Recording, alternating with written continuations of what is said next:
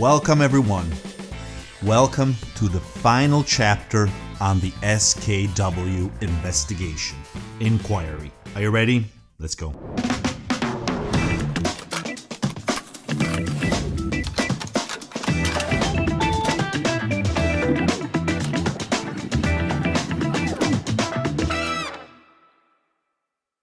Okay, guys, yes, this has been almost like an investigation. And this is the final phase. And I will disclose what I have understood, what I have discovered related to the OCC copper employed by um, SKW in its cables. So let's take a step backward. What happened?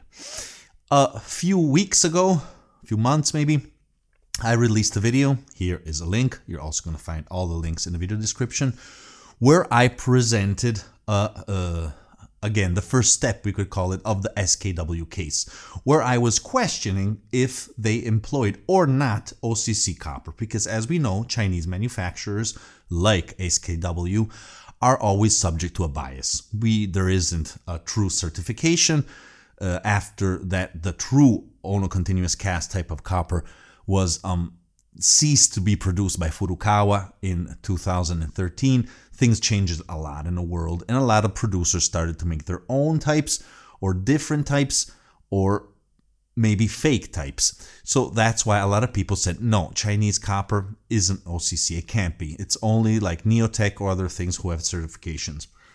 Which I agree. I mean, there is no certification. So you have to believe, you have to trust the manufacturer. So what did I do in that video? I contacted them. They sent me a wealth of documentation showing that it was extremely high purity copper, meaning six N's, six nines, which means 99 slash 9 dash 9999. So it, very pure, extremely pure. Now I forgot something because I'm always talking about OCC copper. I know perfectly what it is, but I uh, forgot one of the main elements, I must admit that OCC copper is not only a matter of purity, like a lot of people in the comments pointed out. Thank you for doing that. You are absolutely correct and right.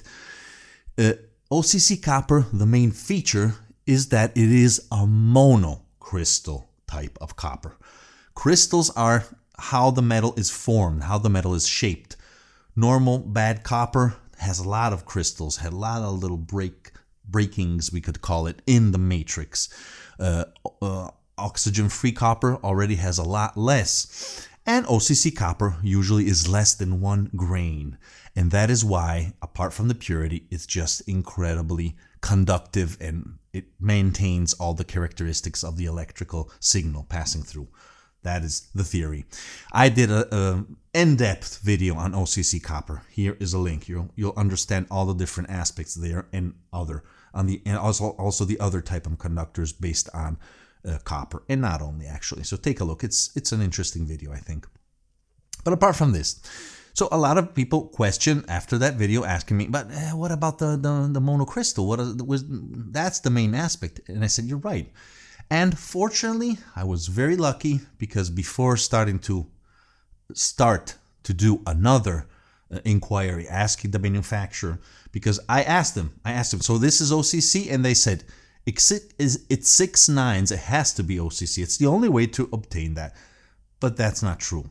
And I was carried on a little bit by the excitement of that documentation. But once again, the purity is one aspect.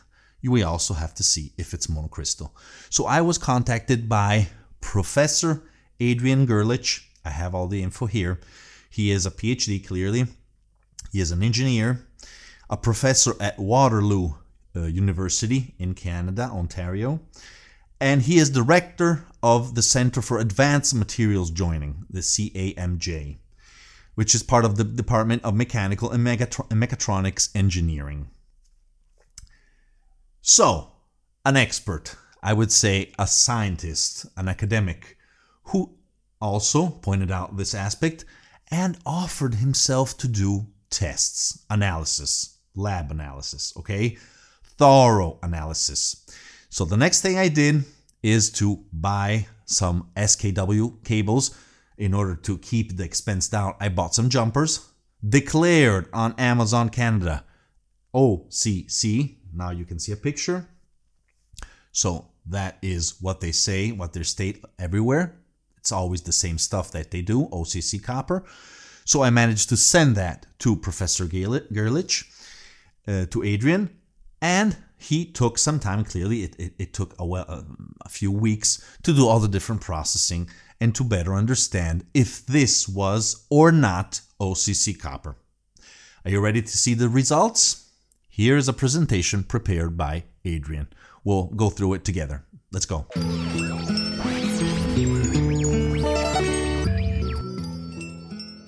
Okay guys, so as you can see here we have the presentation of what took place, how the analysis were conducted by Professor Gerlich with the help of Nazmul Huda as uh, for the lab support.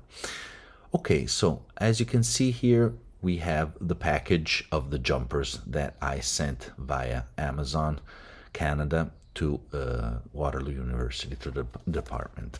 So let's see the process, what they did. So they started to open all the different parts. As you can see, detachable gold-plated contacts, heat shrink, tubes to protect connector. Okay, plus there was this warranty info where there is no mention of OCC copper. Hmm. In any case, we'll, we'll comment on that after. Okay, so they started to do the cross section, the preparation in order to do this type of analysis.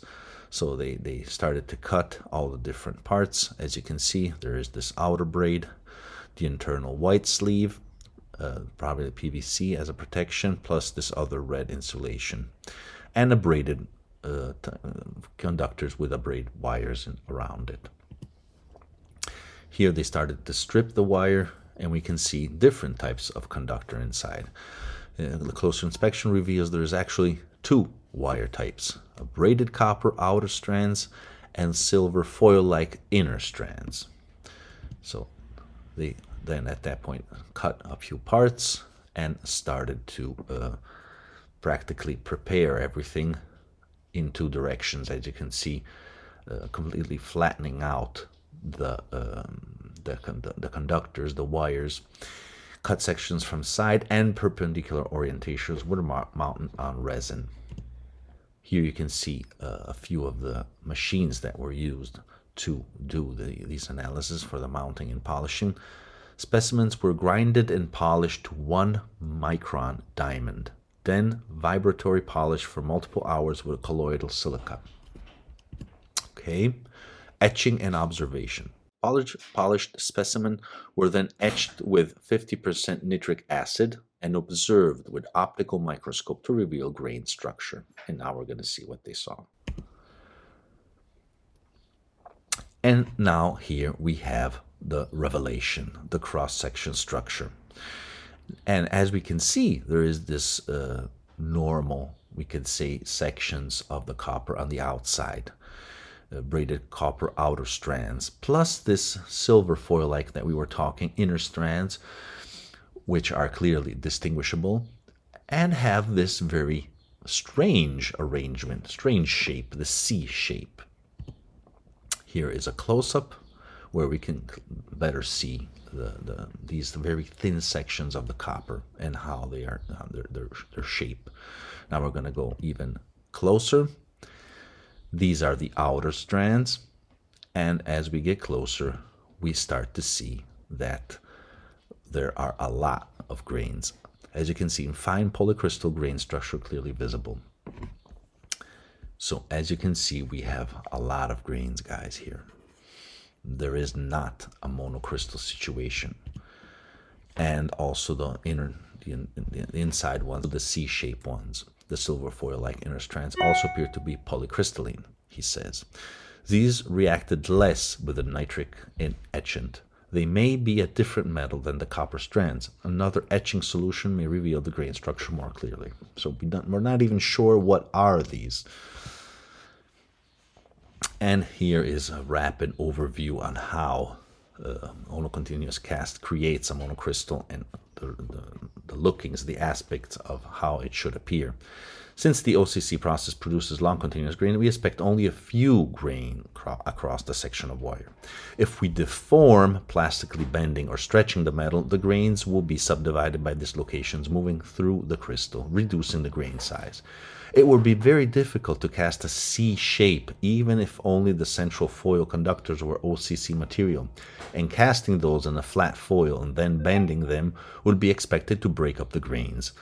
So and this is absolutely 100% sure. I mean, you can't move it, you can't bend it because you're not going to be able to cast it and you're not going to be able to bend it, otherwise, it will break. Grain structures appear consistent with conventional OFC copper. So, this is the conclusion of Professor Gerlich. Testing effect of deformation on copper. Strands of the copper were deformed repeatedly back and forth to plastically bend them in opposite direction multiple times and compared to original strands as you can see on the left, as received, and after doing some applying some stress, mechanically, mechanically deformed, you can see what happens. These fine slip bands are formed by dislocation in crystal grains. This confirms the grain structure is observed and accumulating the effect of deformation. This is also why you're not supposed to bend, move too much cables, because this is what happens, unfortunately. The more you fiddle around with cables, the more damage you apply to them. So this was the end of the presentation of Professor Gerlich, who I deeply thank for this information and for taking the time to do this. Really, thank you so much. Very interesting, well done, and very helpful to understand what is going on. Thank you. Okay, guys.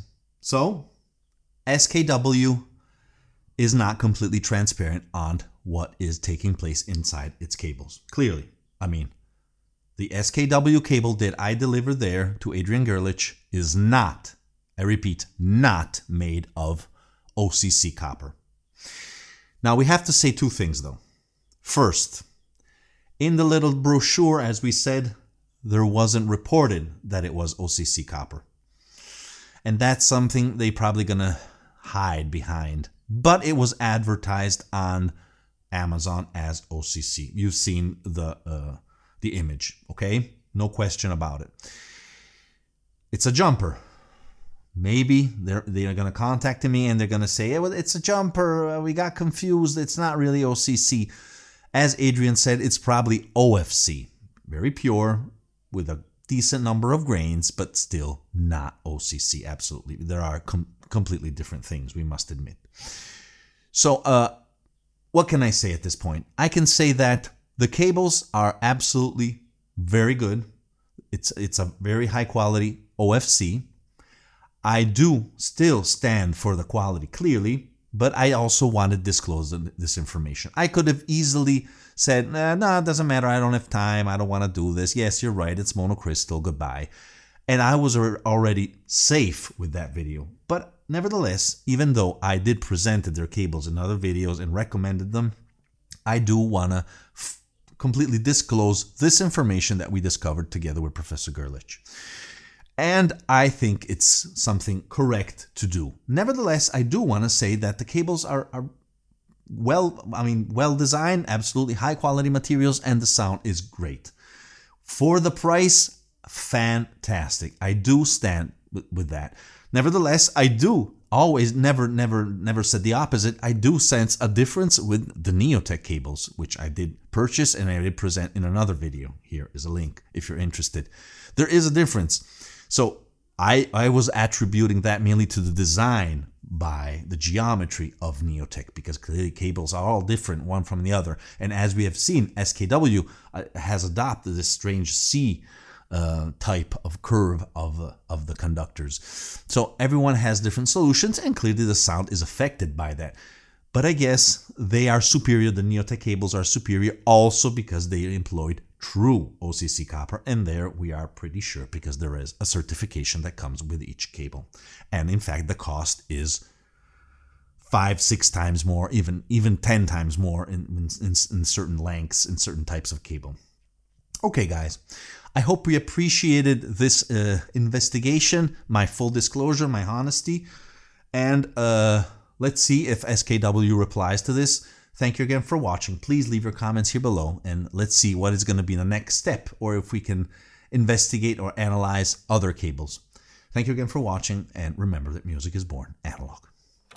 Well, guys, if you're enjoying my videos and you're enjoying my channel, please consider to subscribe by clicking the black and white logo here below. Also, don't forget to click the notification bell so you'll never miss an episode and you will become a true member of the analog community.